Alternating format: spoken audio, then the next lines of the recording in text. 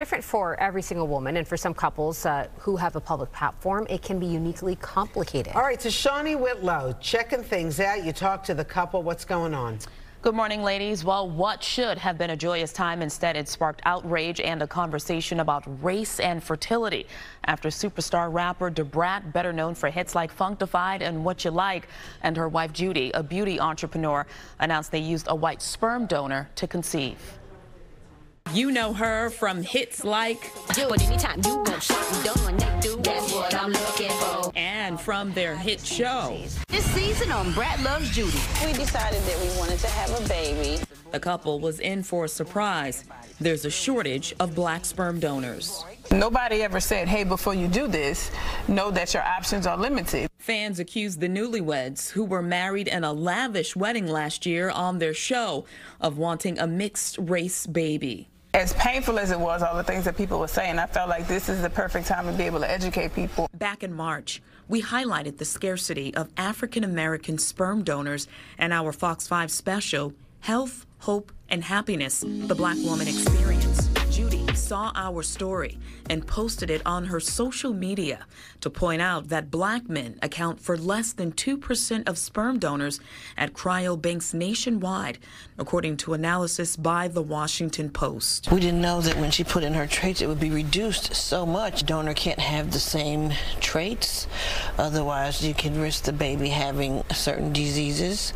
So once she put in, she has about four or five different ones. And once mm-hmm. she put those in, the pool went from thousands to hundreds and maybe one black person. We were left with the, the options of Asian and Caucasians. Da Brat, who was 49 years old, underwent a process called embryo transfer, the last part of in vitro fertilization.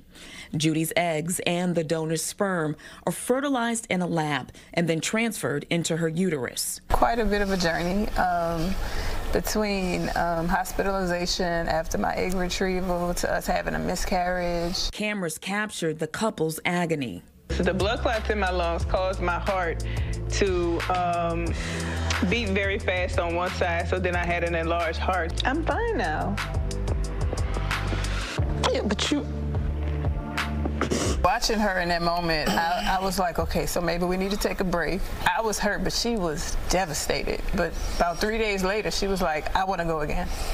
And so then we, we went again. Give up. Judy, a mother of three adult black children and a grandchild, wanted Da Brat, who she affectionately calls beautiful, to experience motherhood.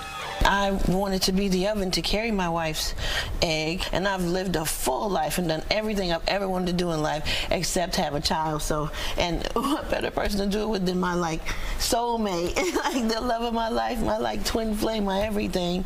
So, um, I just didn't want to give up. The couple tells Fox 5 their faith kept them grounded. Every single day, uh, you know, we just love on each other and support each other, and we talk to the baby, and we just, it's just important that our baby's healthy and know that he's loved, and we do know that it's a boy.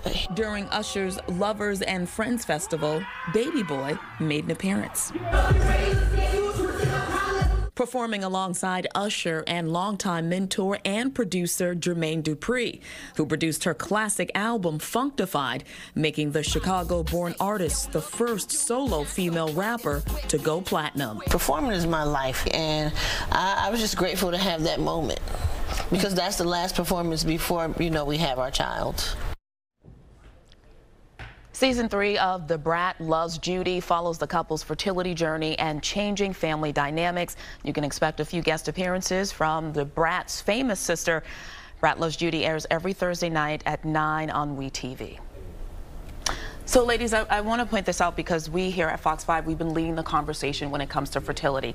And Da Brat, they're just one couple. Mm -hmm. As we highlighted in our special, Fox 5 Health, Hope, and Happiness, the Black Woman Experience, there are a lot of women having issues with fertility. So it's not just as easy as picking a sperm donor. There are a lot of testing and genetic testing that ha you have to undergo. And sometimes the match that you want or your preference in terms of maintaining your heritage, you're not always able to yeah. keep. Mm. So it's a difficult decision for, for expecting parents. It's emotional and it takes a toll on your body. Absolutely. Yeah. And they suffered a miscarriage the first round. Yeah. Mm -hmm. So they're happy. This is their rainbow baby. Well, so we congrats. wish them the best of luck. The baby's due in July.